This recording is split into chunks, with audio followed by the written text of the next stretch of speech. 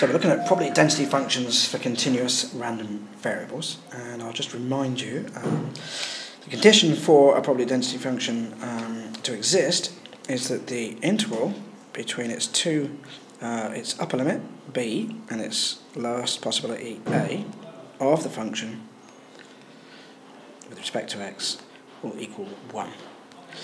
Very much like you know the in, in discrete random variables, the sum of all your probabilities equals 1. For continuous data, we use a graph to represent the possibilities, and it's the area under the graph that must come to 1, and we can find areas using integration. Now, suppose I want to find the probability that uh, a particular value of x is between two known values of x, x2 and x1. Well, that will be the area um, represented by the shaded area in the diagram. And so again we can use integration to answer our question. So this will equal the integral between x2 and x1 of the function with respect to x. So we can use integration to find the area under a curve to answer probability questions. Now, if we were required to answer a series of probability questions for a particular given function, we would end up integrating our function over and over again. So to avoid doing this, uh, what we do in the first place is produce the cumulative distribution function.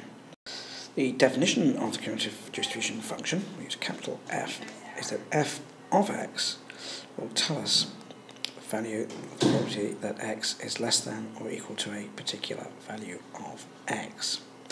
And f of x itself is going to equal the integral of the function we're working with.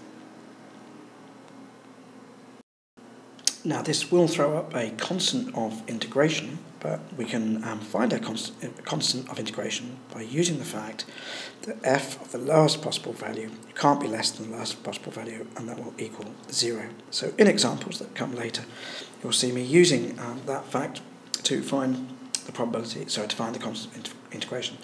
Another um, thing we should be aware of is that f of b being less than the highest possible value, it's not a very good beat, less than the highest possible value. Um, get this right in a moment. Is going to equal zero, uh, equal one. And these are two facts that are particularly useful when we um, have the problem of finding the constant of integration. So if we've worked out um, our f of x and we want to find the probability that x is greater than x5 but less than x6, once we've worked out the distribution function, we simply do f of 6 minus f of 5. Okay, so we'll now do an example. So in this particular problem, we're told that f of x equals x cubed over 6 plus 1 6. It's our probability density function. It exists between 0 and 2.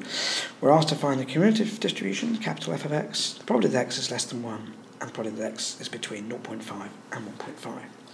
So we need to start off um, by calculating f of x. So f of x is going to equal the integral of x cubed over 6 plus 1 sixth.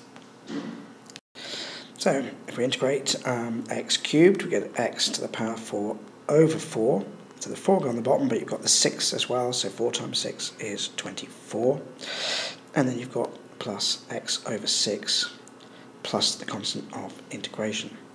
Now to find the constant of integration, I'll use the fact that f of naught equals naught.